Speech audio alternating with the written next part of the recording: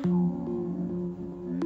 अस्सलाम वालेकुम नाजिन social media पर एक चीज़ तेज़ी के साथ वायरल हो रही है ये वो वीडियो है जो आप अपनी स्क्रीन पर देख रहे हैं। कहा यह जा रहा है कि सियालकोट के करीब जो बॉर्डर के साथ मुलहिका आबादी है वहाँ पर सिक्योरिटी फोर्सेज ने इस इंसान नुमा जानवर को मारा है। ये जो वीडियो आप, आप देख रहे हैं इसमें आप देख रहे हैं कि एक इंसान की तरह का जिसम है और मुँह इसका कुत्ते की तरह है। कहा यह जा रहा है कि ये वो इंसान नुमा जानवर है जिसको सियालकोट के करीब मुलहिका आबादी पर बॉर्डर के पास जो है सिक्योरिटी फोर्सेज ने मारा है। इसको हर तरफ़ फैलाया जा रहा है हर तरफ़ शेयर किया जा रहा है। बिना तस्दीक के लोग इसको आगे फॉरवर्ड कर रहे हैं, जिसकी वजह से काफ़ी खौफो हरास फैल चुका है।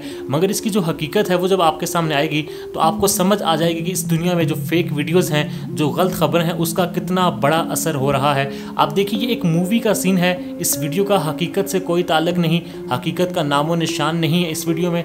ये एक फ़िल्म का सीन है, जिसको कट करके वायरल किया जा रहा है। अब ये बनाया किस तरह से गया था, वो वीडियो आपकी स्क्रीन पर है, जो कि आप देख रहे हैं। इसको एक आर्टिस्ट ने बनाया है, एक इंग्लिश हॉरर मूवी थी, जिसके सीन में इसको इस्तेमाल होना था। एक खौफनाक मूवी जिसे हम कहते हैं, एक डरावनी मूवी जिसे हम कहते हैं, उसमें इसने शामिल होना था। उस मूवी के लिए इसको बनाया गया था, एक आर्टिस्ट ने बनाया है। ये बनाया जो गया था, उसकी अब वीडियो आपकी स्क्रीन पर है, इसको इस तरह से बनाया गया था।